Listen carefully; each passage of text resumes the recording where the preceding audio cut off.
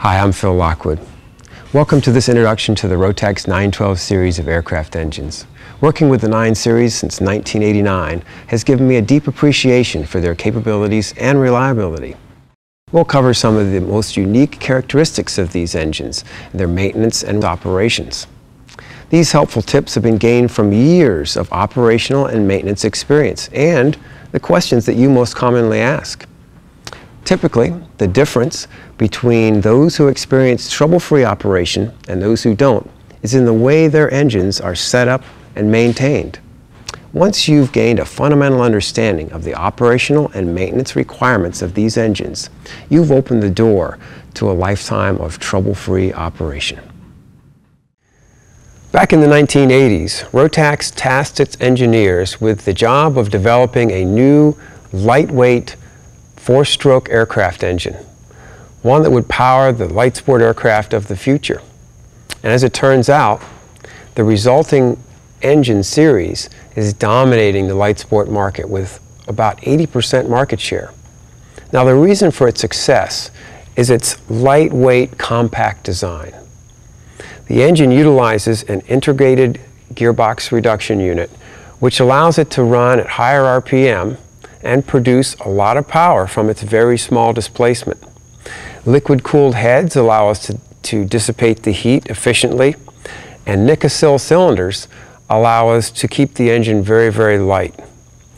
And the engine incorporates some great modern features like electronic ignition. And the ignition system that we have is completely redundant. It's a dual system.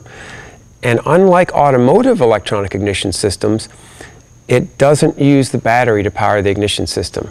Like aircraft engines, it has its own magneto within the engine to power the ignition modules. Each of the 9 series Rotax aircraft engines is offered in two versions. Now there's a lot of confusion over this, but really it's pretty simple. Either you can buy the FAR 33 certified engine, or you can buy the UL version, which is ASTM compliant.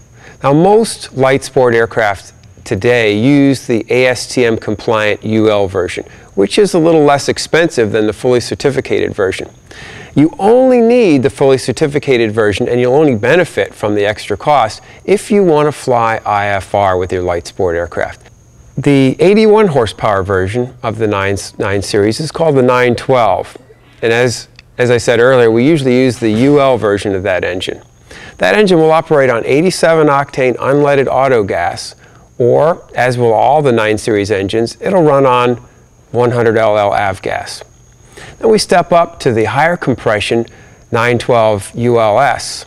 That engine requires at least 91 octane auto gas, or it will run on the 100 LL. Next step up would be the turbocharged 914. That engine is really a version of the low compression 81 horsepower engine, but with a turbocharger, it produces 100 horsepower continuous and 115 horsepower for takeoff. To complete the family of Rotax engines, the newer 912IS is a fuel-injected 100 horsepower 912 ULS. The Rotax 915IS is the newest Rotax engine used for heavier and faster aircraft and is not typically used on light sport aircraft.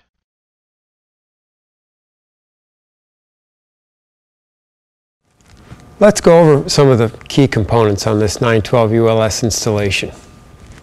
Up front we have Today we'd like to give you some information to help you avoid some of the common problems that we see in our engine shop. Now most of the problems that we have to take care of are easily avoidable if you use the correct maintenance techniques. Now Dean uh, mans our technical support line most of the time and uh, I'm sure, Dean, you see a, a, a lot A of, lot of uh, questions. A lot of questions.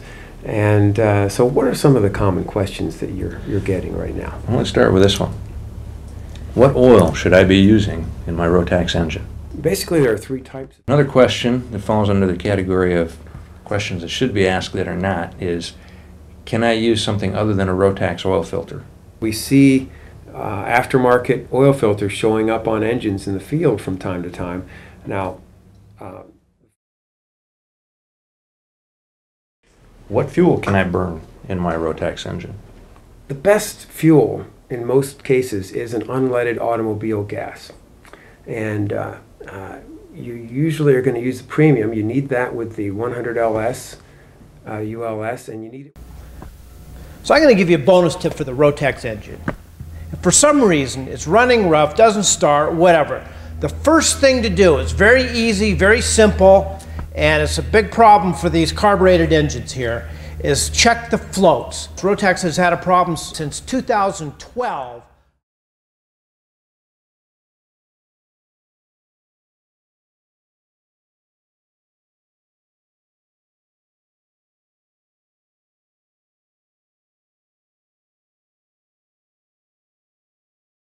If you use uh, uh, good judgment and, and you kind of you take note of these things that we're telling you, um, it's really easy to operate one of these engines in a trouble-free manner and, and just have a great time with it. And, and certainly, uh, boy, a lot of our customers seem to do that even even though they don't know what they're doing. uh, uh, but but if you're one of the unlucky ones who, who makes a mistake, you know, these, these are easy mistakes to avoid.